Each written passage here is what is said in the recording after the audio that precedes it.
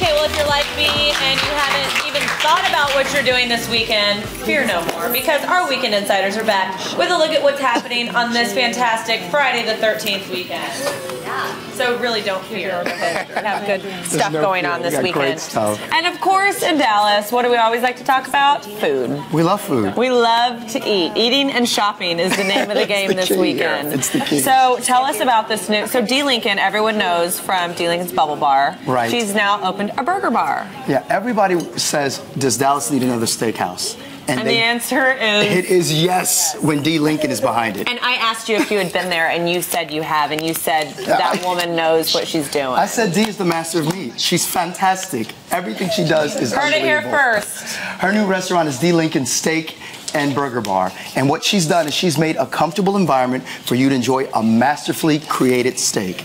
Um, the atmosphere is very, very cool and comfy. She's got about 10 different uh, hamburgers to choose from. Oh, my goodness. Um, the food is just delicious, and she, she knows what she's doing. She's on top of her game. So, is this a place? It's open for lunch and dinner, correct? It's open so, for lunch is it kid friendly? Is it family friendly? Or I could go there on like a sexy Friday night. If you want, if you have a date and you want to take a date and impress her, you would take her there. If you got kids and you want to do a kids' night out, take them there as well. If you had a boss, you wanted to go have steak or burgers, and like it's Perfect, casual, perfect, but it's still good food. They've got outdoor seating. They've got an enclosed patio. Um, it's located in Uptown on Howell Street, 2626 Howell that Street. next to? Um, it's next to the Quadrangle, across the street from the Quadrangle. Oh, perfect. Where um, JoJo's, JoJo JoJo's kitchen, to old okay. JoJo's kitchen space. But Perfect. she's renovated and she's she's doing her thing, man. I, I would definitely uh, I would, I would definitely tell everybody to go invite. And something that I'm excited about about Dee Lincoln's Steak and Burger Bar: 100 wines under 100 dollars. so I'll be washing my burger down with a glass of Chardonnay.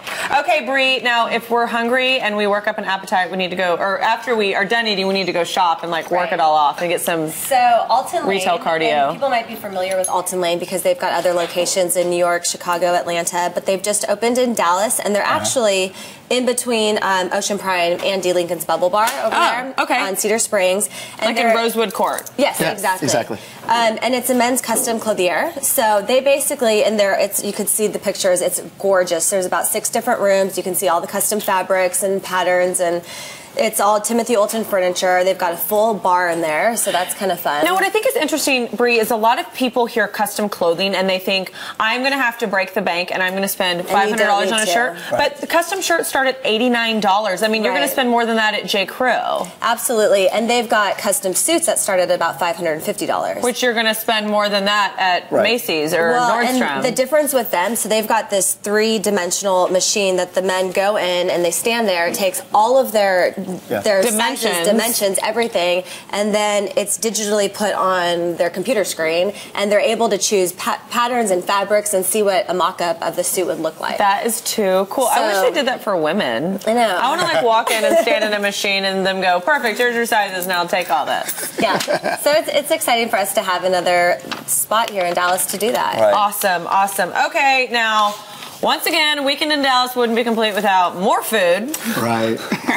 this one I'm very What's this other restaurant? I'm really thrilled about this. Everyone knows Mico Rodriguez. Mico Rodriguez is the creator of um, um, Mi Cocina and Taco Diner. so you know this place is going to be the bomb. Mm-hmm. And Mr. Mesero. Yes. and Mr. Mesero. So Mr. Mesero was his first restaurant back into the scene, and it has done extremely well. And what he wanted to do is kick it up a notch. So he created Mesero Miguel.